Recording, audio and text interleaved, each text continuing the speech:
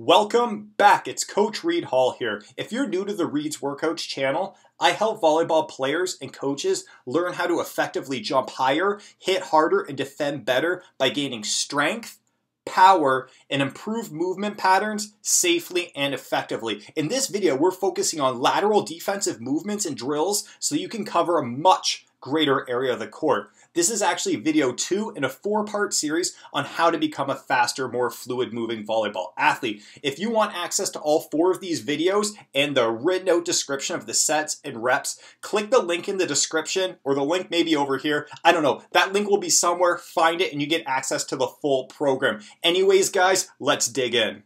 Our first lateral drill is called figure eights, but before you go, let's review. Good volleyball posture, that's a good athletic posture. Breathing, you're very nice and relaxed. Eye gaze forward. So start going into figure eights, and we're working on that push, right? That push is really important, and shoulders need to stay the same height. So freeze for a second.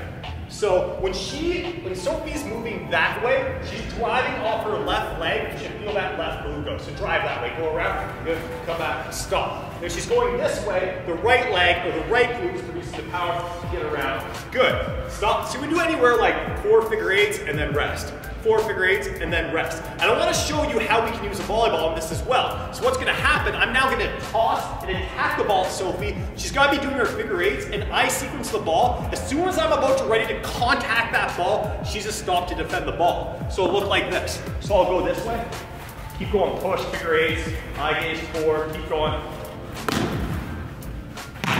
Good. Again, keep going. Push, push, get around. Dig. Good. And now what you're trying to focus on, you can stop here, is she's doing her figure eights, but she's watching that ball in the air. And right before I make contact, she has to be stopped and loaded. When I say stopped and loaded, that means I need to stop my feet and my weight is now going forward. So I'm in a relaxed position, but my weight's not going either way. I'm stable. So watch how stable she is when she digs this ball. So I sequence, stop and load on contact. Go. Keep going. Good one. Keep going. Good. So that eye sequencing part is very, very important. Watch that ball, stop, load. Let's go. In this drill, we're gonna work on a crossover step. Now this crossover step is very important whenever you're defending and you need to cover a lot of distance. So if I'm defending in the cross court as a beach volleyball player and I need to chase a ball down the line, there's a long distance that I need to go, that's when you're gonna use this step. Or if you're playing six in volleyball and you need to chase down a ball, maybe run through a ball, a crossover step if you're moving laterally is a very good option. So we're gonna start with two cones. I'm gonna get into good volleyball posture, shoulders forward, relaxed breath. I'm gonna crossing over, plant, I push this leg, cross over and sprint through. Okay, so Sophie's gonna demonstrate this without a ball, and I'm gonna give you another demonstration how we can include the ball. Sophie, get it. Good. Let's go just one more. Go the other direction this time. Good. And I'm sure Sophie's getting a little bit tired here, but I'm going to show you how we do this with what we call a run through. Now this is more popular in the women's game than the guys' game. So Sophie, I'm going to take your spot for a second. So what I'm going to do is, if I'm going to cross over that way, I'm going to make her chase a ball down that way. So what will happen, to start in a flow, good volleyball posture, push, crossover, plant. When she gets here, I'm going to toss the ball way. Now you're going to cross over, keep your shoulders forward, run through, move your platform through the ball, have the ball land softly right back here. Let's see it. Okay, so go this way first. Go. Good. Good. Let's go one more. That was excellent. Let's go the same direction again. That looked great. Watch how she's keeping her shoulders the same height. Go. Good. Well, that was a little bit easy. But you can see how she's very fluidly moving through that ball and she's not wasting any energy.